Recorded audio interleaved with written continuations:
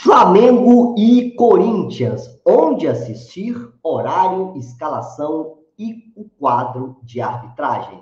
Fala rubro-negro, fala rubro-negra, meus amigos e minhas amigas que estão aqui no canal ligados no Fla. Eu sou o Wagner Lemos e o Flamengo enfrenta o Corinthians pela sétima rodada do Brasileirão após um bom jogo pela Copa do Brasil contra o Fluminense e vamos te mostrar onde você poderá assistir esta partida ao vivo, o horário, a provável escalação do clube mais querido e amado do Brasil e do mundo, para você ficar ligado e atento. E, é claro, o quadro de arbitragem, que já é polêmico aí, escolhido pela CBF para este jogo. Afinal, o clássico das duas maiores torcidas do Brasil vai ser transmitido em TV aberta? Te falo já já, mas antes de ficarmos ligados no Fla, deixa eu pedir humildemente a você, meu amigo, a você, minha amiga que está aqui no canal Ligado no Fla, que nos visita e ainda não é inscrito, a se inscrever neste botão vermelho abaixo. Inscreva-se,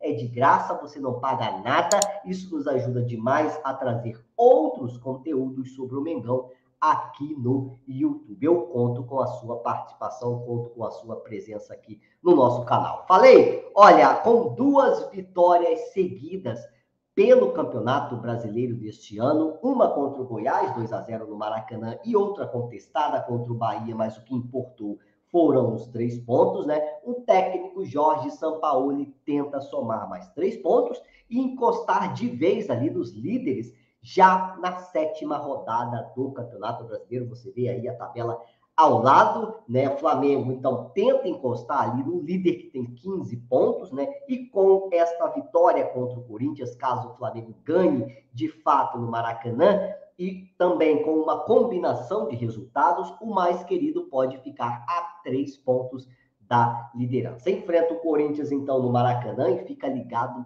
no horário para você não perder esta partida, hein? Ela acontece, então, às 16 horas, mais conhecidos como 4 da tarde, né? E vou mostrar para você onde vai passar esse jogo. Vai passar em TV aberta? Te falo já já, aproveitando então a oportunidade, não se esqueça de deixar o seu like e se inscrever no canal, isso é muito importante. Hein? Olha, enquanto o time do técnico Vanderlei Luxemburgo está na zona de rebaixamento, você vê aí na tabela, né? Tenta seguir o Flamengo, os líderes, né? Caso vença aí o Corinthians é, nesta terceira, seria a terceira vitória seguida no Campeonato Brasileiro. Aliás, pelo Brasileirão, Flamengo e Corinthians já se enfrentaram aí 73 vezes, com 26 vitórias do Flamengo, 18 empates e 29 vitórias do Flamengo. Flamengo com um número ali de vitórias pouco maior, três vitórias a mais, mas isso é pelo campeonato brasileiro. Hein? Em casa, o Flamengo já enfrentou o Timão 38 oportunidades pelo brasileiro, com 19 vitórias, 8 empates e 11 derrotas. Tem uma certa vantagem jogando sobre os seus domínios. Aliás, a maior vitória em casa do Flamengo foi um 6 a 2 do Rio São Paulo, lá de 1950, não era nem nascido, né? Informação do portal Gol, link aqui na descrição do vídeo. Nos últimos seis jogos pelo Campeonato Brasileiro, pelo Brasileirão, o Flamengo ganhou quatro e perdeu dois. Aliás, no ano passado, sob o comando lá do Vitor Pereira, ganhou o Flamengo em duas oportunidades. No Maracanã por 2 a 1 um, não foi isso? E lá no Itaquerão, né, na Arena do Corinthians, por 1 a 0. Então, ficou aí, veio para cá, houve, todo aquele fuzuê, não ganhamos nada do primeiro semestre, o camarada foi embora e ainda levou uma bolada do Mengão, né? É, lá em 2020, o Flamengo aplicou a maior goleada contra o Corinthians jogando fora do Maracanã. Foi 5 a 1 na Arena do Corinthians. Os corintianos acho que não gostam nem de lembrar desta partida, né? É, e, então, o Flamengo tem que aproveitar o mau momento do Corinthians, né? E a boa atuação lá contra o Fluminense pela Copa do Brasil para somar os três pontos, que é o importante nesta partida. Você, torcedor, está mais preocupado em atuar bem contra o Corinthians ou a vitória em qualquer situação basta para você? Para mim, meu amigo, qualquer vitória, seja de canela aos 45 do segundo tempo, tá valendo. Importante são os três pontos do brasileiro. O que conta não é jogar bem, o que conta são os três pontos. Jogar bem é uma consequência. Mas eu quero saber a sua opinião. Você tem a mesma opinião que a minha ou é obrigação do Flamengo atuar bem em todas as partidas? Deixe aqui nos comentários a sua participação, a sua opinião é muito importante. Então, a TV Globo transmite o jogo entre as duas maiores torcidas do Brasil, domingo às 16 horas e também lá pelo Premier. Então, TV aberta aí para o clássico das milhões de torcidas entre Flamengo e Corinthians. Acho bacana é, essa, essa transmissão para esse jogo no Maracanã. Mas se você estiver no ônibus ou em qualquer lugar, pode ver pelo aplicativo do Premier, disponível apenas para assinantes. Mas calma, torcedor. Se você não tem como assistir esse jogo na, pela TV aberta, está trabalhando, está longe é, é, tá de alguma emissora de TV, você pode acompanhar a narração, então, pelos canais Flazoneiro TV, pela Rádio Tupi, Litoral News, aí pelo YouTube ou pelo Radinho, né? Em outros, em breve nós vamos trazer aqui também, nós vamos transmitir aí o jogo sem imagens para você. Fica ligado, beleza? Aproveitando novamente a oportunidade, olha, deixe seu like, compartilhe o vídeo, se inscreva no canal, você que não é inscrito, isso é muito importante para o nosso crescimento. Fica ligado, galera, no quadro de arbitragem escalado, então, pela nossa CBF, a nossa Confederação Brasileira de Futebol. Que sacanagem, hein? É, a CBF escolheu um árbitro que tem aí a fama de parar o jogo, né? Nas últimas duas partidas em que ele apitou, foram 91 minutos parados nos dois jogos. Olha isso, cara. É muita coisa. Ele está em primeiro lugar aí nesse ranking, né? Segundo lá o Coluna do Fá, 91 minutos parados nos dois jogos que apitou. Praticamente não teve jogo, a bola não rolou. Então, esse árbitro, Rafael Rodrigo Klein, costuma parar demais a partida. Terá como assistente Nailton Júnior de Souza Maurício e o Coelho Silva. Novar, Igor Júnior Benevenuto. Vou trazer aqui então algumas informações do Rafael Klein para vocês. Esse camarada aí que está aparecendo na tela, olha, apitou no Campeonato Brasileiro cinco partidas com 34 cartões amarelos e três penalidades marcadas nessas cinco partidas da Série A. Pelo Campeonato da Série B, apitou uma partida e deu oito cartões amarelos. Pela Copa do Brasil, apitou duas partidas e deu 19 cartões amarelos, uma média de mais de oito cartões por jogo. Pelo Campeonato Gaúcho, na fase final, o Klein apitou duas partidas com 19 amarelos também, para ele só vale acima de oito, né?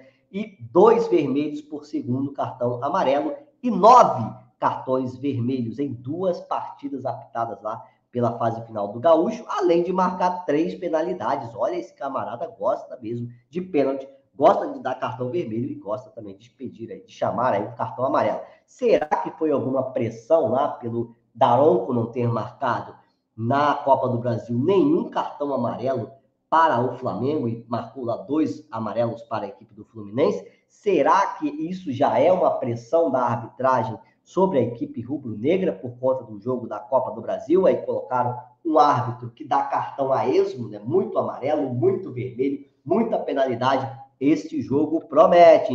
Escreve o que eu estou te falando, hein? E pelo Campeonato Gaúcho, ele apitou aí seis partidas com 34 cartões amarelos. 6 vezes 4, 24. 3 vezes 6, 18. É, 6 vezes 7, nossa, é muito cartão amarelo. Marcou também um vermelho lá pelo Gaúcho. No total, em 16 partidas nesse ano, ele marcou 114 cartões amarelos. É isso mesmo. 114 cartões amarelos dois é, vermelhos, né, como segundo cartão amarelo, e dez vermelhos diretos, amigo. Dez vermelhos diretos a cada aí dois jogos, ele dá um cartão vermelho direto e a cada aí três jogos ele marca uma penalidade. Vamos ver se neste jogo entre Flamengo e Corinthians vai ter penalidade, se vai ter expulsão. Agora, com certeza, teremos aí muitos cartões amarelos. Ele apitou também Atlético Paranaense e Goiás, pela Brasileirão deste ano, né? Vasco e Palmeiras, Coritiba e São Paulo, Bragantino e América e Goiás e Botafogo. Esses os jogos em que o árbitro apitou. Eu acho, eu não coloquei aqui no quadro o provável Flamengo para esse jogo, mas eu vou falar aqui para você de cabeça o provável Flamengo que eu, Wagner, escalaria para esta partida contra o Corinthians. Eu viria com o goleiro Matheus, é, o, o, o Matheus, né, Matheus Cunha, lá na defesa, parece que já vem melhorando aí desta inflamação, é, que é também complicado, mas eu sou mais colocá-lo. É, Matheus Cunha, Wesley, Léo Pereira, Fabrício Bruno e na lateral esquerda eu colocaria o Cebolinha para dar um descanso aí também para o Ayrton Lucas, que vem tendo várias e várias partidas seguidas. No meio de campo, colocaria então é, o Igor Jesus junto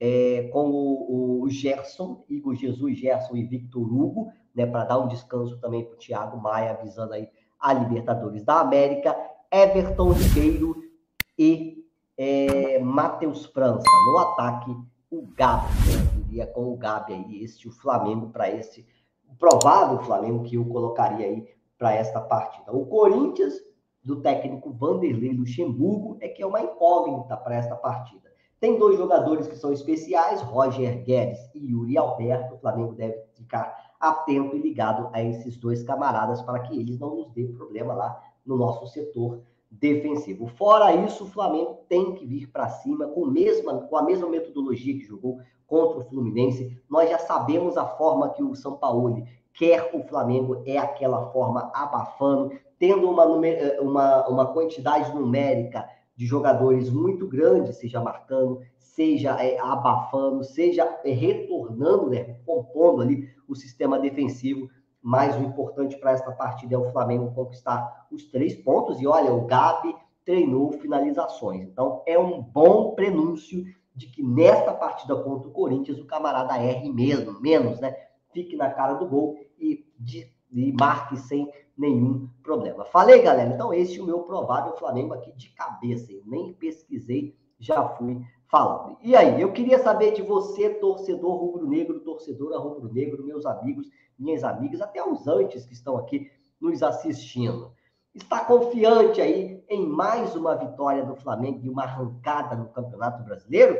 Confiante na terceira vitória seguida do Flamengo e nesta arrancada rumo aí aos líderes? Deixe aqui nos comentários o seu placar. O meu, 3 a 0 Mengão. O Gabigol treinou finalizações e nesta partida vai desencantar novamente. A você ligado no Fla que gostou deste conteúdo e ainda não se inscreveu, não marque bobeira, se inscreva no canal para ficar ligado e atento então nas novidades, nas polêmicas sobre o Mengão. Se já for inscrito, meu muito obrigado, deixe o seu like, compartilhe o vídeo e ative também o sininho das notificações para receber aí todas as nossas novidades. Aí vou fazer uma pergunta para você. Quer contribuir com o canal financeiramente? Pix aparecendo aí na sua tela, uma contribuição de qualquer valor, seja um centavo, dois centavos, dez centavos, um milhão, o quanto você tiver para poder disponibilizar aí no crescimento do canal. Se não puder, só o seu engajamento, o seu like, a sua inscrição e o seu engajamento aqui, as suas opiniões para mim já está de bom tamanho. Falei, Rubro Negro, um grande abraço para você. Vamos rumo à vitória aí contra o Corinthians, a terceira seguida. Você vê aí tabela novamente para você, porque o nosso objetivo é subir na tabela, não é jogar bonito, né? Como foi contra o Inter e no final da partida não ter os três pontos. Esta é a minha opinião. Falei, galera. Um grande abraço para você. Até a próxima. Tamo junto. Valeu.